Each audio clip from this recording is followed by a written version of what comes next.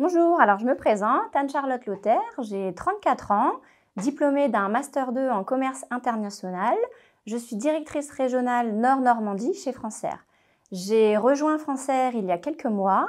Auparavant, j'ai eu différents postes euh, dans l'entreprise et dans le bâtiment, en fait, hein. au niveau du gros œuvre, dans la vente directe, mais aussi le CVC, donc clim, ventile, chauffage, dans la distribution au niveau national.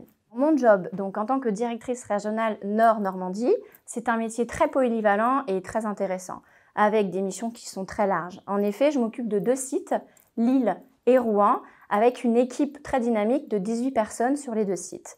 Premièrement, il y a la politique commerciale, euh, donc ça va être accompagner la force de vente dans la vie de tous les jours, avec évidemment la perspective du chiffre d'affaires et de la marge, qui est très important pour nous. Mais aussi la mise en place d'un plan d'action commercial, donc on reprend la stratégie qui a été définie au niveau national, qu'on va redéployer dans les directions régionales. Ça va être échangé aussi avec le back-office, donc au niveau des aides et des supports, pour que mon équipe au niveau du terrain des sédentaires ait une fluidité au niveau du business dans la vie de tous les jours.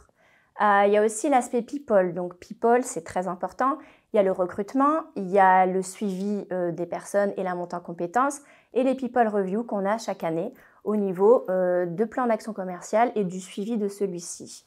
Ensuite, on a aussi la gestion administrative, s'assurer aussi de la sécurité au travail, que ce soit dans les agences ou au comptoir, et une approche terrain client. Ce dont on a besoin tous les jours, c'est un client satisfait. La satisfaction client est vraiment au cœur de notre métier. Pourquoi avoir rejoint Francère C'est une belle entreprise familiale, donc en constante évolution, avec euh, une augmentation du chiffre d'affaires euh, dans notre, euh, dans notre marché. Une entreprise où il y a vraiment un, vrai esprit humain mis en avant, plus des valeurs qui me correspondent, telles que l'esprit d'équipe, la prise d'initiative, l'engagement, le dynamisme, également aussi des outils qui sont mis à notre dispo et un accompagnement pour vraiment réussir à atteindre nos objectifs et notre mission dans la vie de tous les jours.